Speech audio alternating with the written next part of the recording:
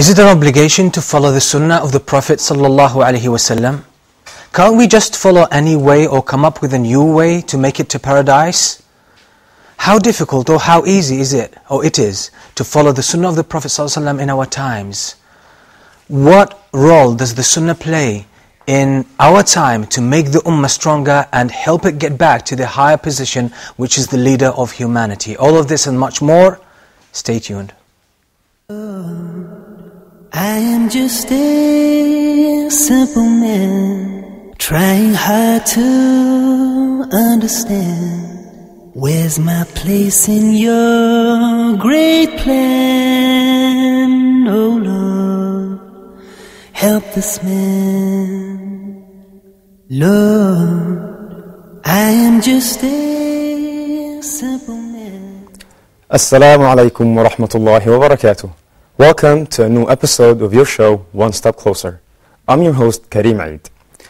During the month of Ramadan, each and every day, we'll try to get one step closer towards Allah, our Prophet Muhammad sallallahu alaihi wasallam, and to this beautiful way of life, the religion of Islam.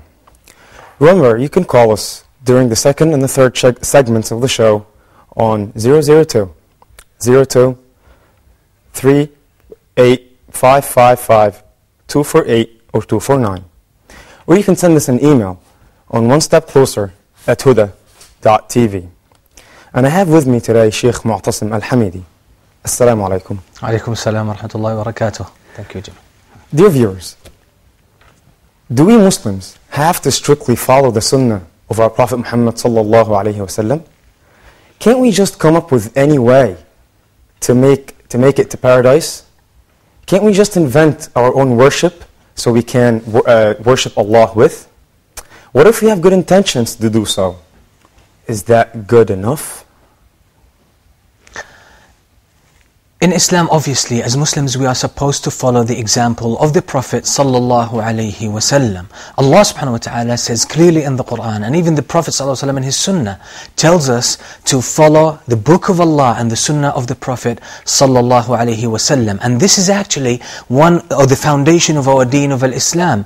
Once a person enters Islam, the key into Islam is Ashhadu an la ilaha illallah wa ashhadu anna Muhammadan Rasulullah. These are the two pillars that Islam stands on.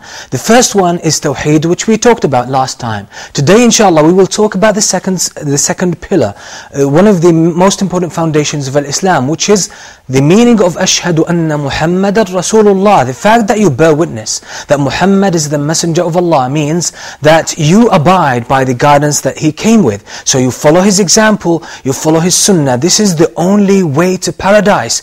As Allah subhanahu wa ta'ala makes it clear in the Quran when He says, وَأَنَّ هَذَا صِرَاطِي مُسْتَقِيمًا فَاتَّبِعُوهُ وَلَا تَتَّبِعُوا السُّبُلَ فَتَفَرَّقَ بِكُمْ عَنْ سَبِيلِهِ Allah says clearly in the Quran, and this is my path, so follow it and don't follow the ways or the other ways because they will lead you away and they will lead you astray away from the way of Allah subhanahu wa ta'ala. So there's only one way to paradise. There's only one way to Allah subhanahu wa ta'ala and that's the way and the example of the Prophet ﷺ. Good intention. Some people come up and say that we are doing what we're doing out of good intention. They invent acts of worship. They come up with a new way in Islam. Obviously, it's a mixture of different things. Some things that are taken from the Quran, things are taken from the Sunnah, things that are taken from their cultural background, things that are taken from their own uh, uh, habits, from their own environment. And they say, this is our way to Allah subhanahu wa ta'ala. Some people come up with strange things, things they dream about, things just uh, occur to them because they study philosophy, they study different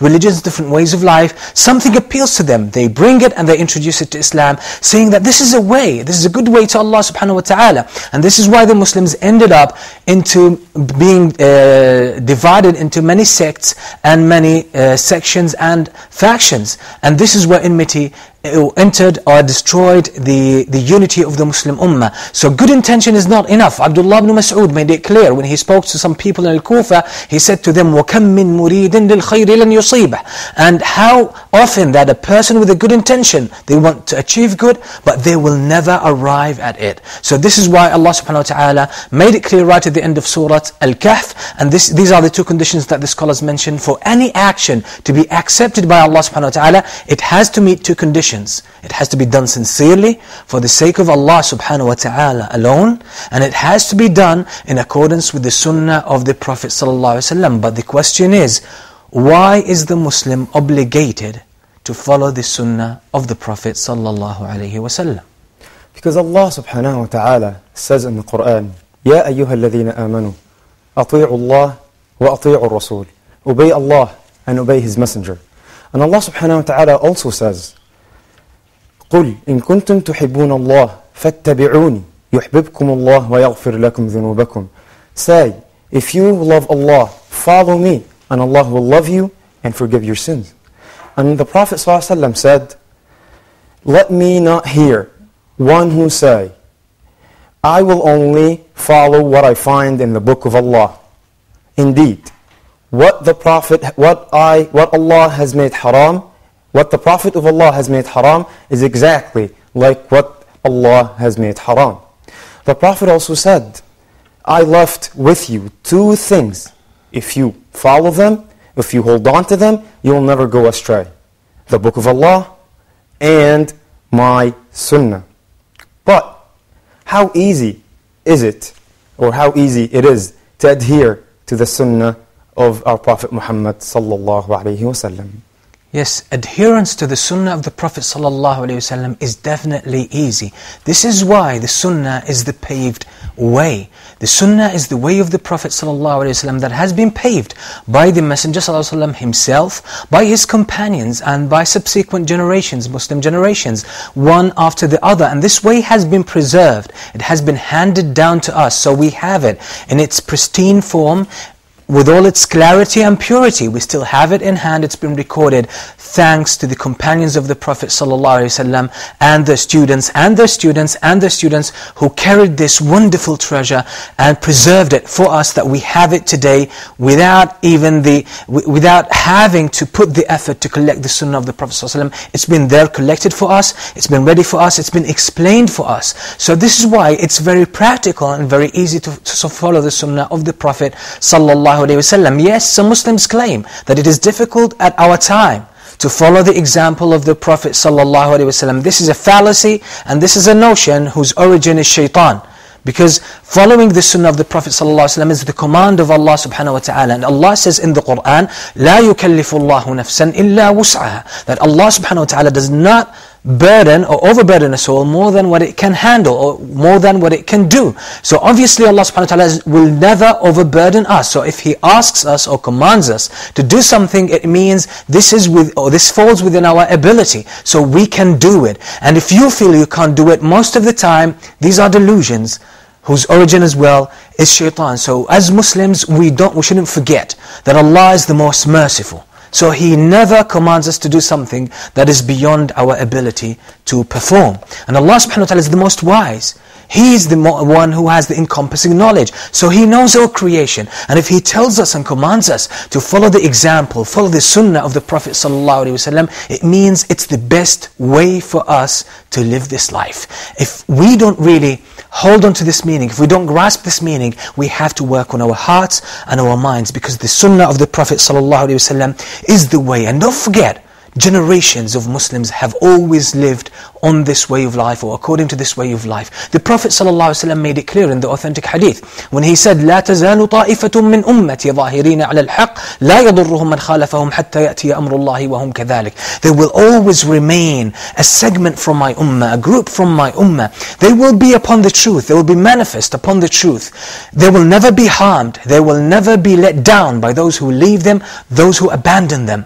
Those will be upon the truth. What is the truth? At the time of the Prophet ﷺ, it was his sunnah. At the time of his companions, it was his sunnah. At the time of the tabi'een, it was his sunnah. And it will always remain his sunnah. This is why he said in the other hadith that was narrated by Ibn Majah, and the hadith is authentic. When he said that my ummah will be divided into 73 sects, all of them will be in the hellfire except for one. When he was asked about it, he said, they are the ones who are upon what I and my companions are upon. It's the sunnah of the Prophet Prophet wasallam, if all these generations have practiced the sunnah and lived by it, despite the difference in terms of time, circumstances, the, uh, the, the vastness of the Muslim ummah, the different uh, cultural and uh, backgrounds and races that entered into Islam, the sunnah survived all these trials and all through the annals of history, and it will also survive today. But it needs high aspirations. It needs real people, real believers. And don't forget, the sunnah is the most wonderful way of life that we you can ever come across. Because Why? Because it's been prescribed by Allah subhanahu wa ta'ala. It's the divine guidance from Allah subhanahu wa ta'ala. But the question is, why do we find many Muslims today decide, turn away from it and decide to do away with the sunnah and come up with another way? That's the question.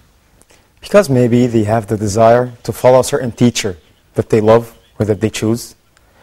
Or maybe they just follow their own whims and desires. Or maybe they just follow what their ego tells them to do. Or maybe they can't break from their cultural background. Or maybe they have a disease in their heart that they need to treat. But the question is, how they can treat all that? We can obviously treat that illness or that sickness by developing a fresh outlook on Islam. We have to go back to the sources, get the real image of Islam, the real understanding of Islam. Let's go back to the roots. What's the meaning of Islam? The very basic meaning of Islam is submission. Al-istislam. That you submit to the will of Allah subhanahu wa ta'ala. What does submission mean? And this is where the beauty of the sunnah is. Don't forget that humans will always strive to come up with new ways of life, with new styles for living, with uh, new outlooks on life, new explanations for existence. But Allah subhanahu wa ta'ala saved us the effort. How? By sending us all the information, all the, uh, the answers to all the big questions that go through our minds and through our hearts. And with submission, it means that we trust Allah subhanahu wa ta'ala. Oh Allah, I trust the guidance you sent to me. I know that's the best way for me to, to follow. I know that's the only way leading to paradise because following, or the sunnah, the way we are supposed to follow in this life is part of the unseen. Unless someone tells us about it, unless someone who knows the unseen tells us about it, we will never be able to deal with it. We will never be able to find out what way of life that is. This is why Allah subhanahu wa ta'ala sent us, the sent us the sunnah of the Prophet sallallahu alaihi wasallam. So if we are truly Muslims, it means we submit to the will of Allah. And this is one of the sweetest, sweetest feelings in life that we could ever have or even experience. Submit to Allah subhanahu wa ta'ala. Show your trust Show your confidence in the guidance of Allah subhanahu wa ta'ala.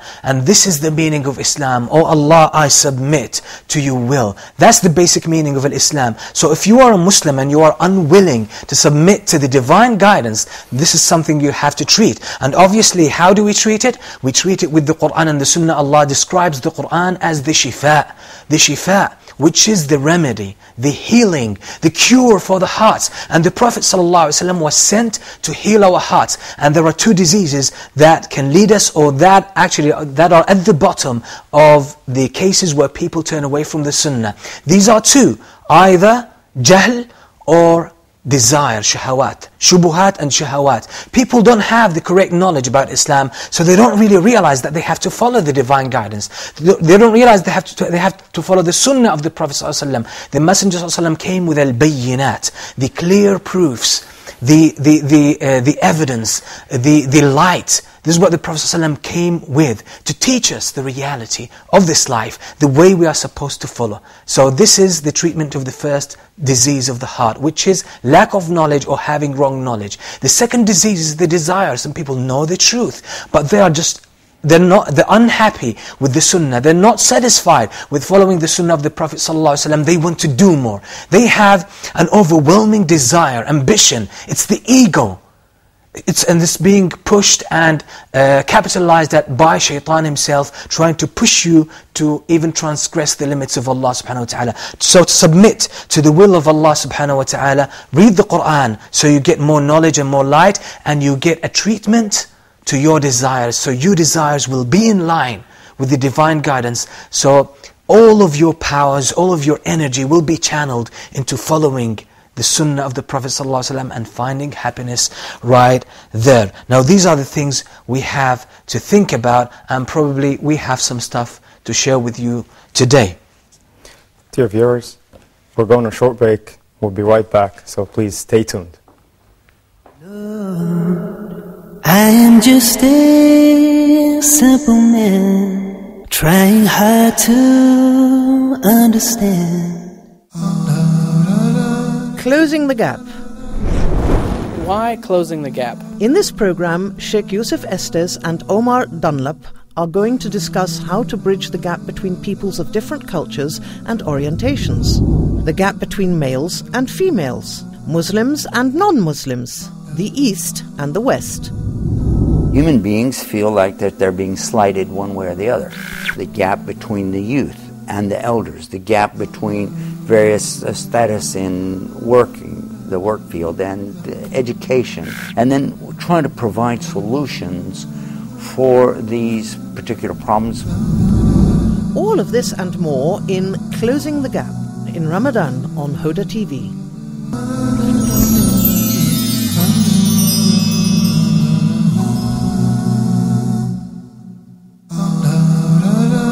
Amazing stories. In this program, we get to know about people of the past whose stories were mentioned in the Islamic tradition and related by the Prophet, peace be upon him. that verily us, meaning Allah subhanahu wa ta'ala, we tell you about the best of the stories. We tell you about the best of the stories. When we narrate a story, when we read a story, when we try to benefit from a story, what we are trying to do in reality is to go back through the steps, through the different parts and sections of this story until the story is actually completed and that we can take the actual benefit directly from the story. Sheikh Lutfi will narrate these stories in his program Amazing Stories. Allah subhanahu wa ta'ala ordered one of the lands to come closer, the destination. Allah subhanahu wa ta'ala ordered one whole city to come closer, to move closer to this dead person. Amazing Stories in Ramadan on Huda TV.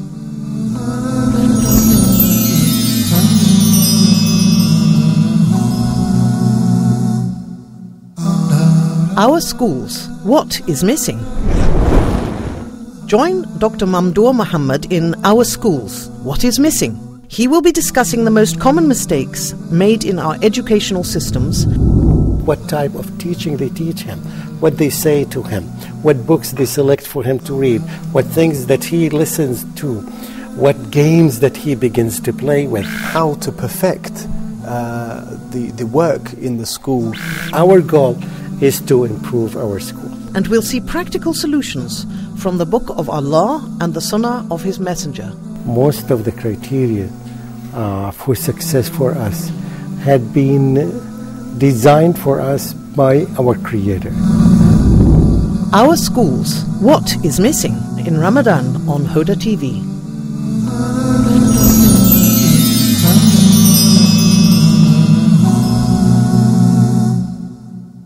Lord, I am just a simple man trying hard to understand. Welcome back to One Step Closer. Remember, you can call us uh, 002 02 38 555 248 or 249. Or you can send us an email on one step closer at huda.tv. How can we take one step closer towards Allah by following the Sunnah? Well, this is a, very, a very important point that I believe we can. We have so so many things to share about this, but definitely the Sunnah first is meant to bring us closer to Allah Subhanahu wa Taala, and the only way leading to Allah is the Sunnah of the Prophet sallallahu alaihi wasallam. There is no other way. As Imam Shatibi says in his book Al-I'tisam, that uh, and he quoted that from uh, one of the Tabi'in. He said. All the ways are blocked. Hmm. All the ways are dead ends. They actually will end up in a dead end, except for the way which was brought by the Prophet sallallahu alaihi wasallam. That's the only way leading to Allah. So you are not going to get one step closer to Allah or many steps closer except through following the sunnah of the Prophet sallallahu alaihi wasallam. So if someone wants to get closer to Allah subhanahu wa ta'ala, just follow the sunnah of the Prophet sallallahu alaihi wasallam. That's the way. There's no other prescription for that. Mm-hmm. And this is why, why the Prophet ﷺ was sent, for mm-hmm. us to follow his example. Mm-hmm. So the sunnah definitely can bring us one step closer to Allah. And another reason why the sunnah will bring us closer to Allah subhanahu wa ta'ala is that it's not from the Prophet. He did not initiate the sunnah. Yes. Yes, some of the sunnah were initiated by the Prophet ﷺ but approved by Allah subhanahu wa ta'ala. But obviously, the sunnah is divine guidance. It hmm. came from Allah subhanahu wa ta'ala, it has divine origin, and the Prophet ﷺ conveyed it, but it wasn't recited as the Qur'an, it's just a hmm. different format of revelation, or different form of revelation. So, if, as we practice the sunnah, as we adhere to the sunnah, as we hold on to the sunnah, hmm. what we're actually doing is, actually we are following the guidance of Allah, what Allah sent to us. So imagine even, just speaking about our human life, and taking a human analogy here, if someone, uh, if your boss, for example, at work, gives you in- instructions, you work according to these instructions, obviously you will be pleasing him, and you will be doing the right thing. But if you just disobey the commands of your boss, obviously you're not doing a good job and you'll end up being fired. Yes. It's exactly the same. I want to get closer to my, for example, to, to my Creator, to Allah subhanahu wa ta'ala. I just follow His guidance because that's from Him. It's a sign of showing my love for Allah subhanahu wa ta'ala, my trust in what Allah subhanahu wa ta'ala has given us. So these are basically the things that could really bring us closer to Allah subhanahu wa ta'ala. So Also Allah ordered us in the Quran, He said, وَمَا أَتَاكُمُ الرَّسُولُ فَخُذُوهُ وَمَا نَهَاكُمْ عَنْهُ فَانْتَهُوا Yes. You know, whatever the, the Prophet has commanded you to do, take it, and whatever He forbid you from, then don't do it. Also the tabi'een, the Mm-hmm. Yeah. tabi'een, the followers. Tabi'een means followers. See, they were Yeah. called the followers of the Prophet because they were the perfect examples. Yes, definitely. Uh, I, I recall the story of um, Sa'id ibn Musayyib, who's a great imam. Yeah. One time after the, f- uh, in the Fajr, during the Fajr prayer, after the Adhan, you know, we pray to, to Raq'ah. Yeah. He saw that man, he kept on praying and praying and praying. So he told you, hey you, I'm afraid that Allah subhanahu wa ta'ala might punish you for this. He said, Imam, punish me for what? For praying? He said, no. He will punish you because you did not follow the sunnah of the Prophet ﷺ. Yes. So the tabi'in were perfect examples. Yes, definitely. Mm-hmm. And this actually, thank you, Kareem, it really brings us to, to a notion where people think that it's not an act of worship to follow the sunnah of the Prophet Mm-hmm. Yes. ﷺ. And this is why we designed this show to deal with Islamic principles that people never looked at them as acts of worship. But actually, we are trying to get the most comprehensive aspects of worship and bring them together because following the sunnah of the Prophet ﷺ is a comprehensive form of worship. Mm-hmm.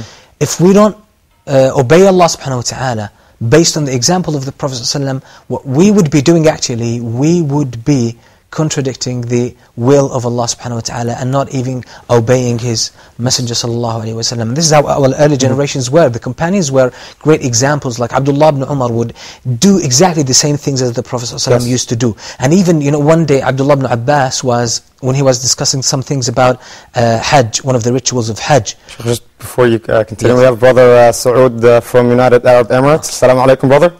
Assalamu alaikum. Ramadan coming to you. Uh, to you too. How are you? Alhamdulillah, fine. Alhamdulillah. Assalamu alaikum, Sheikh Moutasem. I have a question and a comment. Wa alaikum salam, please go ahead. Uh, the thing is, if you were uh, talking to follow the Sunnah. I have a doubt that, uh, see, we, uh, we follow four madhab, like Hanafi, Shafi, Hanbali, and Maliki. And all the four preach different kind of ways of praying Salah and uh, different kind of ways for Salah, for other things. So, which is right and which is wrong? Like, for example, in Tashahud, when you lift the finger, some people hold the finger and lift it, some people just lift it and put it down, some Okay. people make a circle with it. yeah. So what is right? What is what is the actual sunnah? It's because four matab are contradicting each other. One is saying to leave the hand and pray. One is uh, holding the hand on top of the chest. One is holding the hand at the navel. One is doing Raqadan. So please comment on this. Okay, so th- this is the question. What's the comment? Okay, he's gone. So brother Saud really raised a good uh, question here. Okay, yeah, well, actually what we're trying to do here, we're not trying to deal with specifics, so this is why I won't take the example, but generally speaking, maybe we can use it, we can use it as a case in point. But something we have to explain. First, I, I invite all the viewers and brother uh, Saud as well.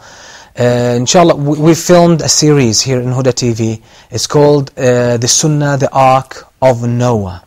The Sunnah, the Ark of Noah. So please be ready for that, inshallah. Uh, it will be aired sometime later, after Ramadan, obviously. I'm, I don't know exact the exact dates, but it will be aired, inshallah, sometime after Ramadan.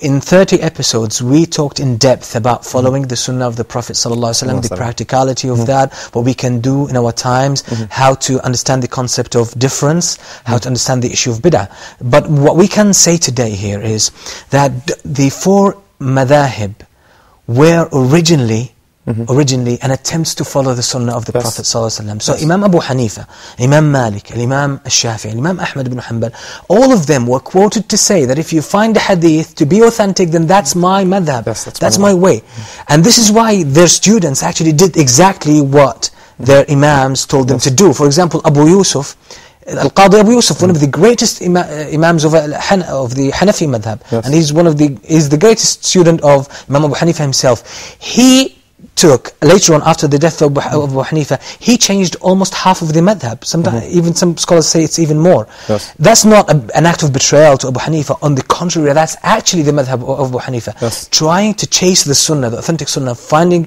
exactly what the Prophet ﷺ did and following that.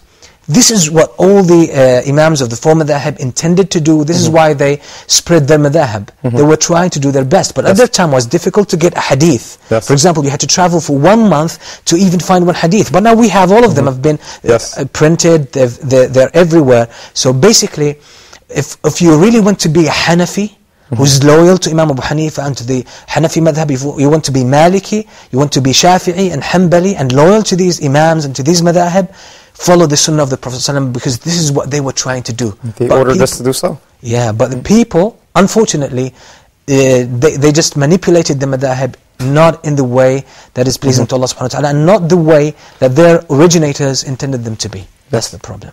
Uh, Sheikh, back to the story. You were telling us a story about Abdullah ibn Umar. Uh, Ab- with that- yeah, yeah, thank you. Abdullah ibn Umar basically was, he would generally do exactly the same thing as the Prophet ﷺ. So one day in Hajj, uh, there was one of the rituals of Hajj, some people uh, did it not in accordance with the sunnah of the Prophet ﷺ. So he told them, the Messenger ﷺ said, blah, blah, blah, okay? Do it that way. They said, but Abu Bakr told us to do this. And Umar told us to do this. He said, "توش- توشك أن تنزل عليكم ينزل عليكم عذاب من السماء أو أن تساقط عليكم السماء كسفا And Allah is about to send a punishment from the heavens upon you. I am telling you, the Prophet ﷺ said, and you're telling me Abu Bakr and Umar said, now obviously people would must have understood Umar, Abu Bakr and Umar uh, wrongly, but the thing is that it, uh, it, this explains that the, the companions of the Prophet ﷺ and the Tabi'een and all these early, early generations, they understood that the strength of this ummah Mm -hmm. is in following the sunnah of the Prophet yes. that the sweetness of Iman will only be found yes. as you know you're treading the same path mm -hmm. the Prophet trod yes. the same path the companions of the Prophet yes. trod so you have it's, it's, uh, this, this way or this way of life the sunnah is so profound and it's it's a legacy. Yes. It's a living legacy that we're treading the same path of the Prophet ﷺ. We have brother Ahmed from uh, Palestine on the line. Assalamu alaikum. Assalamu alaikum, Sheikh. How are you? Alaikum salam. Hayyakum Allah Ahmed. Sheikh Moutasem, how are you? Alhamdulillah, welcome to the show. Thank you, Sheikh Moutasem. Sheikh Moutasem, I want to ask about the grades or the types of Sunnah, please. Briefly, if you can explain the difference between the, the types of Sunnah or the grades of Sunnah. Okay, th- thank you very much, Ah- Ahmed. And we really, uh, and here we take this opportunity to send our salam to our brothers in Palestine, and uh, we ask Allah subhanahu wa taala to strengthen you and give you the, the, the endurance and the iman, and to give you victory over the, the enemies of Islam. Uh, the types of the sunnah that we can talk about, are there are different types. In one sense, we can say that the sunnah of the Prophet ﷺ is either spoken, or it's uh, actions, or even it can be description of the Prophet ﷺ, and it can be also tacit approval, that the Prophet ﷺ sees something being done in matters of the deen, and he doesn't say anything about it, to criticize it, so it means he's approved it. Uh, we can always uh, speak about the sunnah in another, in a, in a different sense, like saying there are the sunnah, for example, uh, there's, uh, there are the sunnahs that the Prophet ﷺ observed consistently like a sunan al-rawatib, the sunnah prayer that we do. These are things that the Prophet ﷺ consistently observed, like the witr as Yes. well, although some scholars have a different opinion. And there are what the scholars say as a second level, which the Prophet ﷺ would do on occasions, And there is a, another level, which some scholars call it nawafil, where the Prophet ﷺ only did it once. Yes. Okay, he was been recorded to do it once. Some other sunnah, they said the Prophet ﷺ, uh, within the general principles of Islam, he talked about them, but uh, he was never recorded to have practiced them in a, in a, in a, in a certain way. So generally, these are the the most common ways to, to uh, classify the sunnah of the Prophet sallallahu alaihi wasallam. Uh, Sheikh, can you uh, give us, uh, you said uh, like the Prophet ﷺ, some uh, sunnahs once. Like what? Well, uh, nothing right now comes to my mind, but uh, obviously the.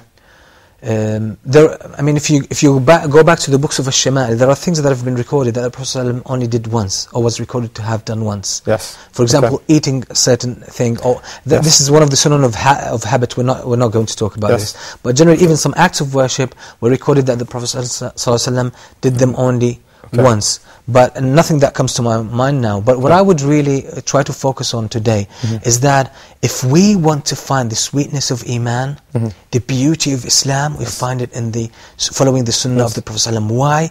Because how you know what we're trying to explain here or manifest is how the Sunnah brings us closer to Allah. Imagine once you follow the Sunnah, you're saying to Allah Subhanahu wa Taala, you're sending a clear message. Oh Allah, I know that this way is from you. I know it's your gift to humanity.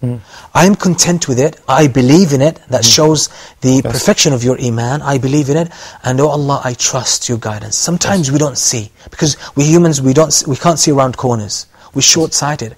So, and sometimes we're hit by calamity and we feel very bad about it, but we don't realize it's a gift from Allah subhanahu wa ta'ala. He's, Allah subhanahu wa ta'ala is pushing us out of our comfort zone. He wants to bring what is good in us eh, by putting us into some kind of hardship. So uh, the same applies to the Sunnah of the Prophet ﷺ. Uh, sometimes we fail to see the beauty of the Sunnah or the wisdom behind following the Sunnah. And Allah subhanahu wa ta'ala wants us to do, to do that because He knows what is uh, what is awaiting what is awaiting us as a reward and as uh, whether in, be in this life or in the next. So even if you're not convinced about a certain act of the sunnah, if you just can't understand the logic and the wisdom behind it, submit. Wallahi, this is the only time you will find the overwhelming sweetness of iman. When you fail to understand the mm-hmm. logic behind an act of worship or sunnah of the Prophet ﷺ, and you just say to Allah, Oh Allah, I believe in you, so I submit. You know the unseen, I don't know. Mm-hmm. So I just submit. Wallahi, this is when you will start to feel the sweetness of, of al-iman going through your whole body and even engulfing your heart and you'll find the, yes. the real meaning of happiness. Uh, we have brother uh, uh, Zubair from Nigeria. Salam alaikum. Salam alaikum brother.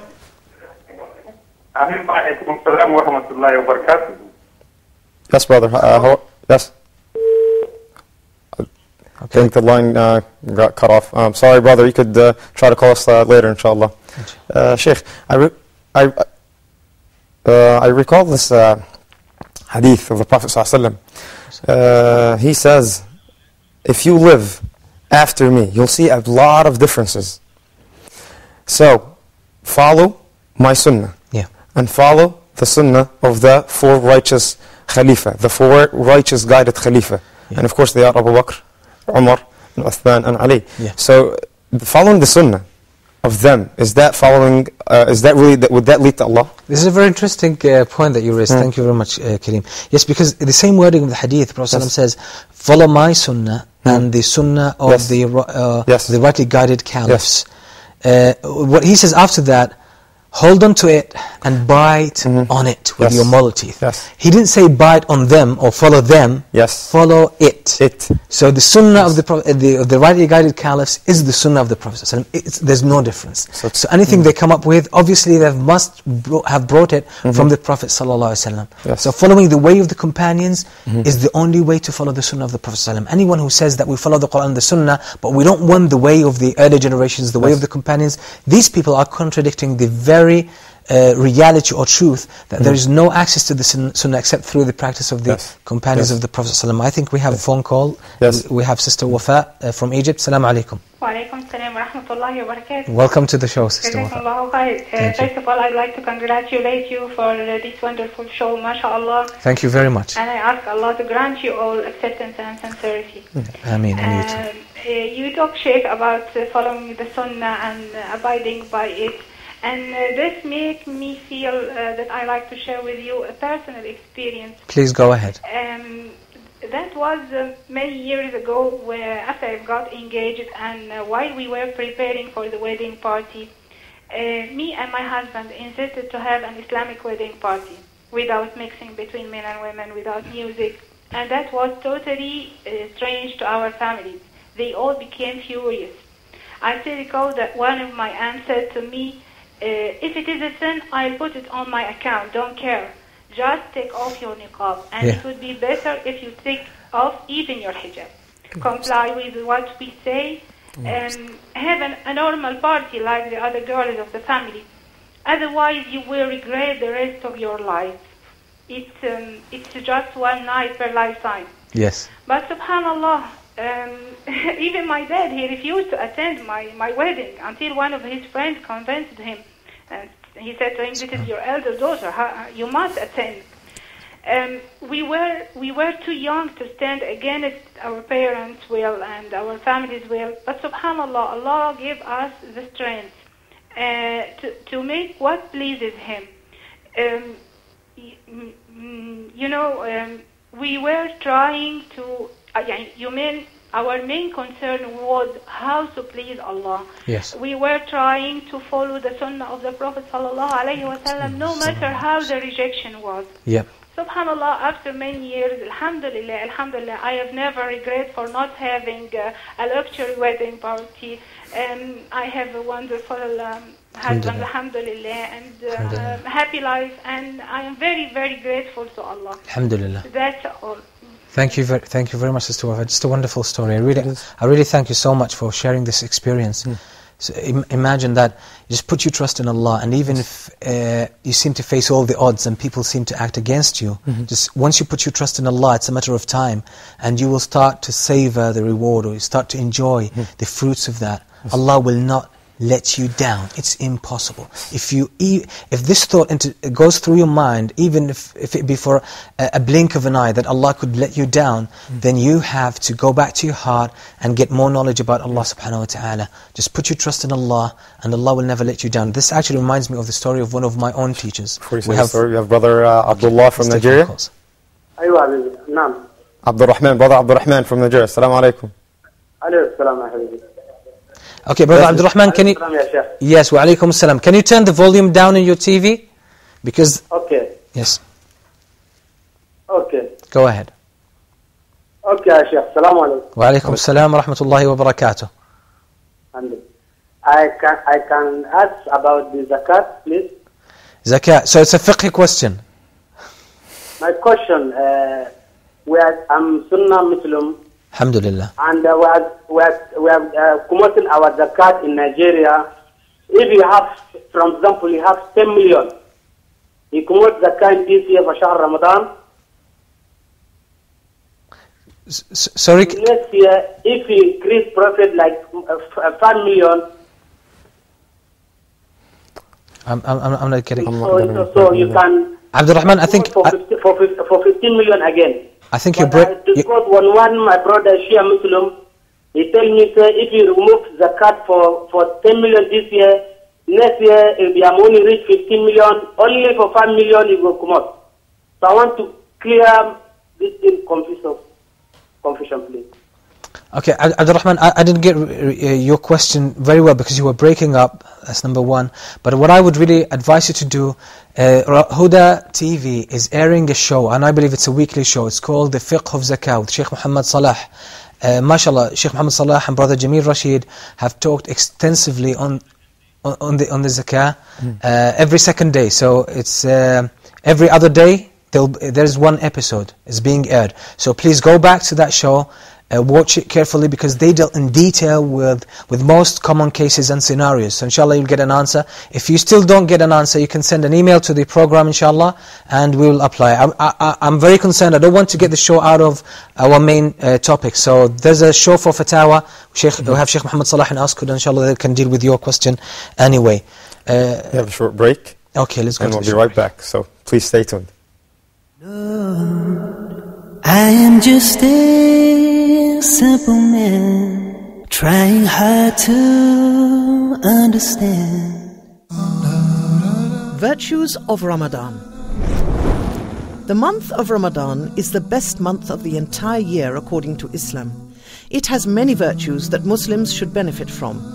Do not lose the chance of this blessed month and join Dr. Haytham Al Haddad in his program Virtues of Ramadan.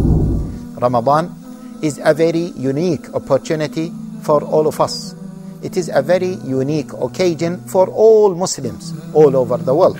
We are going to discuss certain issues related to Qiyamul Layl and how to observe the night prayer. We are also going to speak about zakah, inshallah. We are going to speak about sadaqah. Virtues of Ramadan in Ramadan on Huda TV.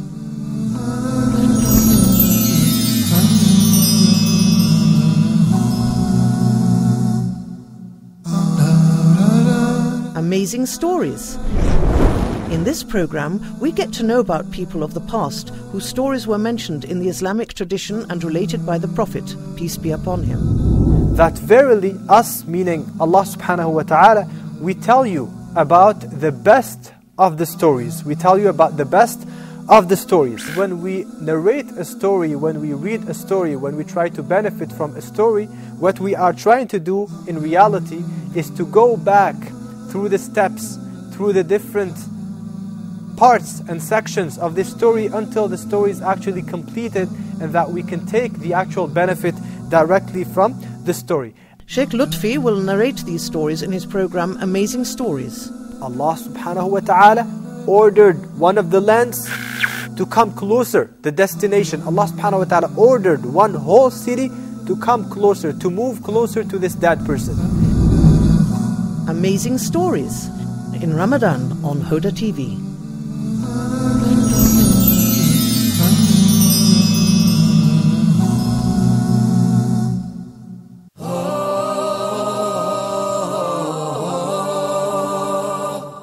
The story of Adam alayhi salam. Allah subhanahu wa ta'ala taught Adam the names of everything. Sayyidina Musa alayhi salam approached that fire and he was surprised. The arrow killed the boy. If you want to be saved in this world, get on the ark of Islam.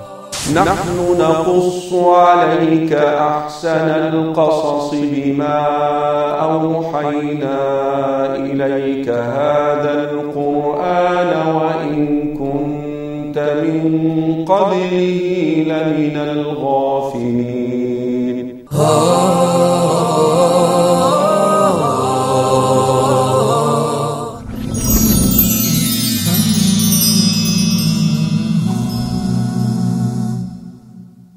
Lord, I am just a simple man trying hard to understand. Assalamu alaikum wa rahmatullahi wa barakatuh. Welcome back to One Step Closer. How can we, by following the Sunnah, get one step closer to the Prophet Muhammad sallallahu alaihi wasallam? Obviously, the, the sunnah of the Prophet ﷺ is his example. It's his personal practice. And he was sent to be a role model for us. And Allah subhanahu wa ta'ala is so merciful that He sent the Prophet ﷺ and the Prophet ﷺ is a human. He's not an angel or from a, a different creation. He's a human being, just like us. He has the same concerns as us, the same emotions, the same limitations, the same weaknesses, the same strengths, just to uh, give us a clear message that this way of life has been designed, has been sent for you, so you can follow it. And it's the best way for you. So this is why the Prophet ﷺ was sent. And obviously the Messenger ﷺ is so happy when you follow his example. Because he, he, I mean, this is his mission To be a role model for us, to show us exactly the way we're supposed to follow.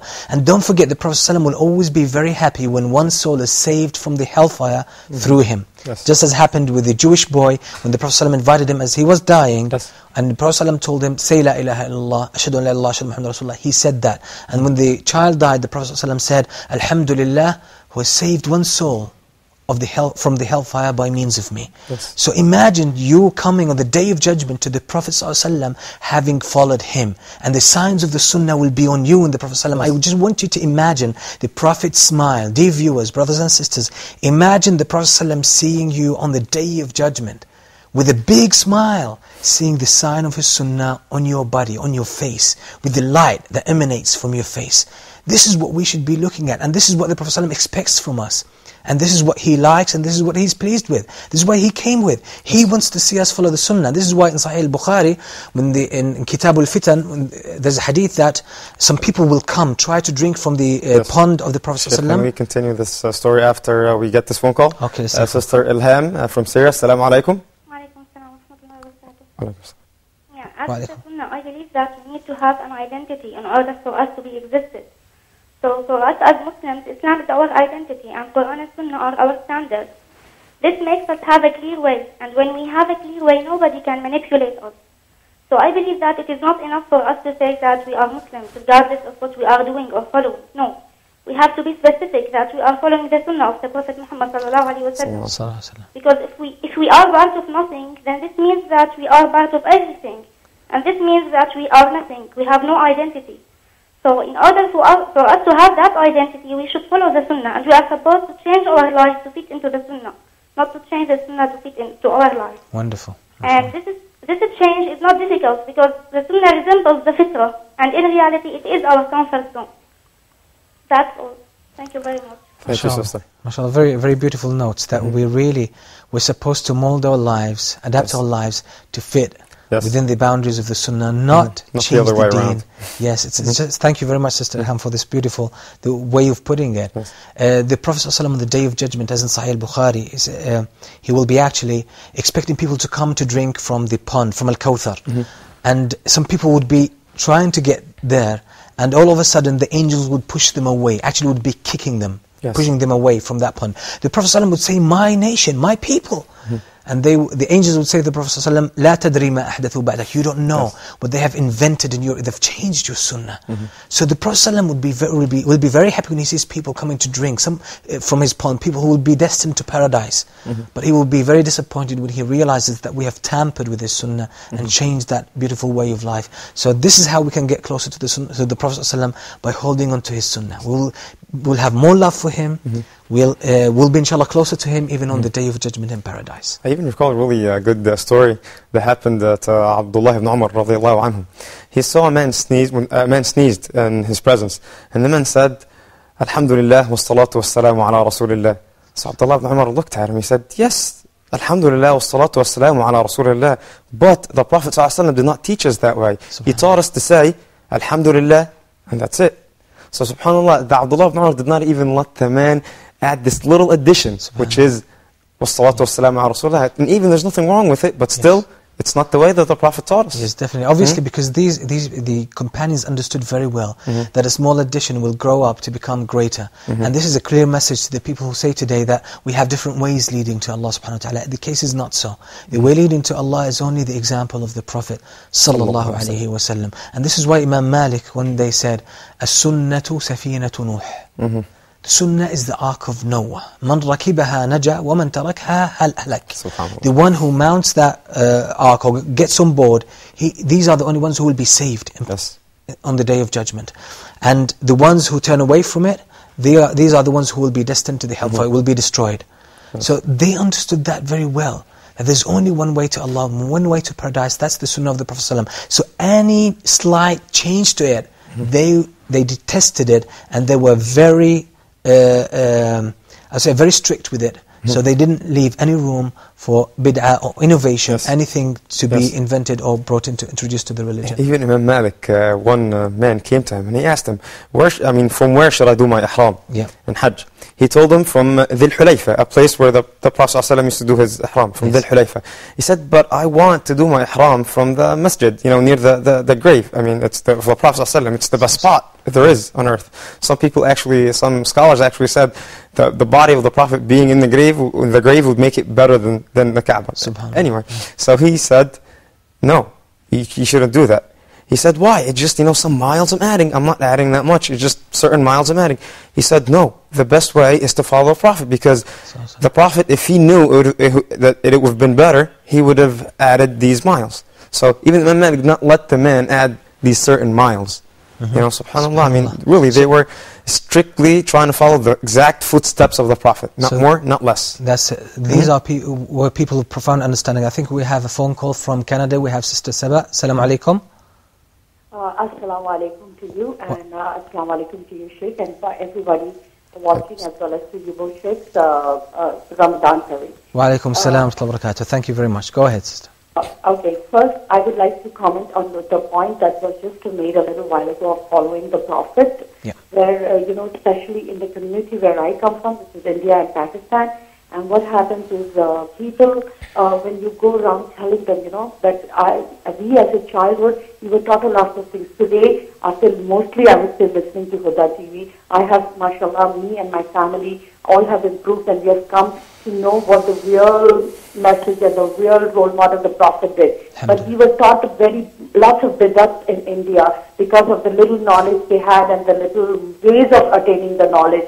And even the most of the mullahs and mullahs over there or the ulmas, they have not got the correct knowledge. But today, when I go around telling people, don't do this, this is not the sunnah of the Prophet, this is the sunnah of the Prophet, people do not listen. I would like to ask this, I would I, I'd like to know how should we say, keep on saying, till what time should we keep on saying to those people to stop it? Is there a point we should stop? Because that, as, a, as to me, is frustrating when I know that I, ha- I am, whatever I'm saying, I've got the knowledge through the correct source, so I know this is correct. Yes. They come back and say, tell you, you know, what do you mean our forefathers were doing it wrong?